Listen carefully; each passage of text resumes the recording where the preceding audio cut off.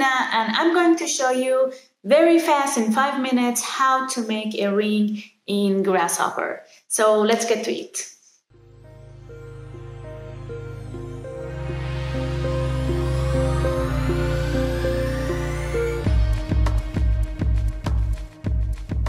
To start, we are going to create a circle with a center and a radius. Then we will offset this, this curve and we will make the thickness of the ring. And then we will extrude this surface to get the, the ring itself. For this, we are going to use a construct point component that you can find under vector, point, and construct point. It will uh, give you a point on 0, 0, 0.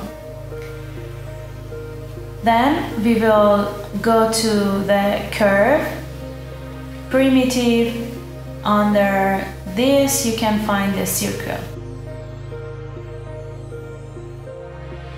The circle needs a center point or base plane of circle and then the radius. I connect the point to the panel and then I need, for example, 9 millimeters radius for this circle. Then I go to the curve utility and then I choose offset curve.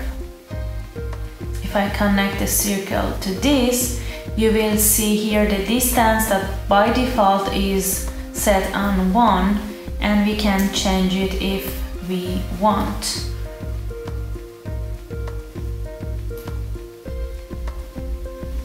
Now we will make a surface that connects two circles uh, together.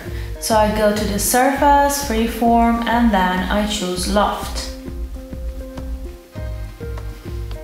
I hold the shift key and connect the first circle and the second one to the loft. To be able to see the surface, you need to right click here and then put flatten. Now I go to the surface, freeform and extrude. I connect the surface to the component and then we need a distance.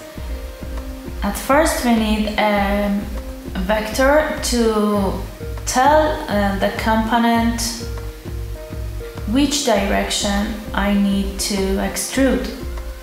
And here we have a Z axis. So I connect the z-axis and by default it is set to 1. But if I want 10 millimeters for my ring, so I need to put the number. Okay, now you have your ring, simple one, and you have three components that control the uh, whole design. For example, the radius, of the circle, then the thickness of the ring, and then the height.